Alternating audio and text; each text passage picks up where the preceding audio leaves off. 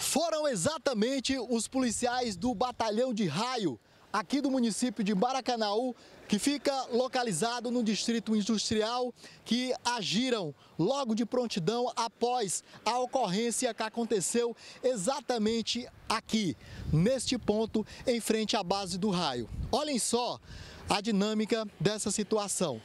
Um motorista foi abordado com vários passageiros por volta de 10 e 20 da noite desta terça-feira.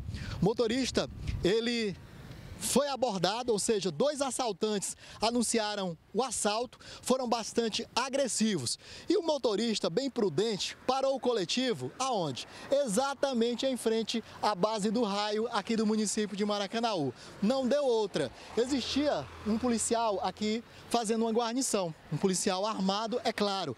Esse policial, ele notou que algo estranho estranho né, estava acontecendo quando se aproximou um dos bandidos, ainda dentro do coletivo, ele ameaçou o motorista, para o motorista ir logo embora. Inclusive, chegou a cortar o motorista com a faca nas costas. Logo em seguida, o motorista, claro, muito amedrontado, foi por cerca de um quilômetro aqui nessa avenida. Chegando lá na frente, uma composição do raio já estava de prontidão. Chegou, abordou o coletivo, fez com que parasse, os bandidos desceram do ônibus e foram presos. O maior foi preso e o menor foi apreendido. O menor, ele foi tão cara de pau que assim que desceu do ônibus ainda pegou nos seios de uma das passageiras.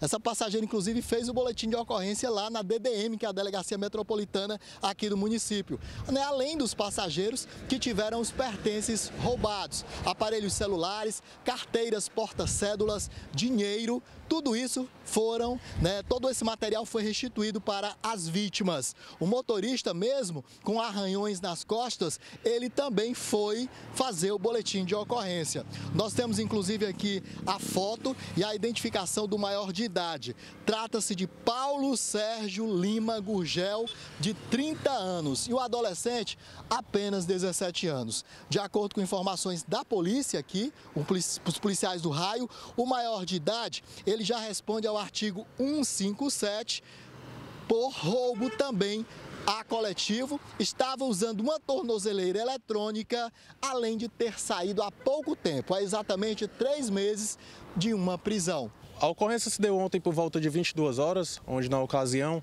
é, um coletivo que fazia a linha centro, Novo Maracanã Centro, é, parou aqui na frente da unidade, na frente da, da companhia, e os policiais aqui que pertencem aqui à guarda do quartel perceberam a movimentação estranha dentro do coletivo e em seguida acionaram uma equipe diária.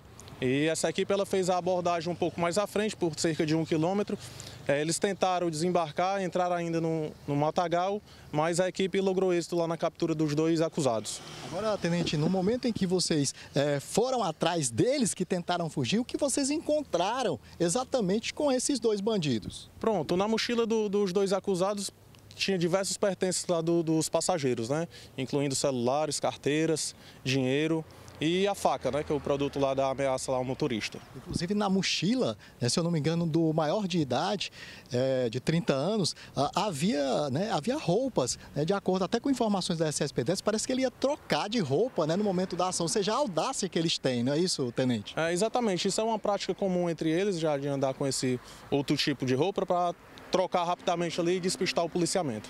Tenente, esses é, elementos, existe um menor de idade, né? ele, ele também responde, o maior também. Quais são os artigos que o maior possui na polícia? O maior de idade, ele está em liberdade há três meses, é, já foi preso também pelo mesmo crime, artigo 157, roubo a coletivo também, inclusive estava de tornozeleira eletrônica é, no momento, né, a, a, todas as vítimas, inclusive o motorista, mesmo aí é, com essas né, lesões, né, foram arranhões, a faca, todos foram para delegacia aqui de Maracanã. Pronto, o, procedimento foi realizado na delegacia metropolitana de Maracanã e todos compareceram lá para fazer o procedimento.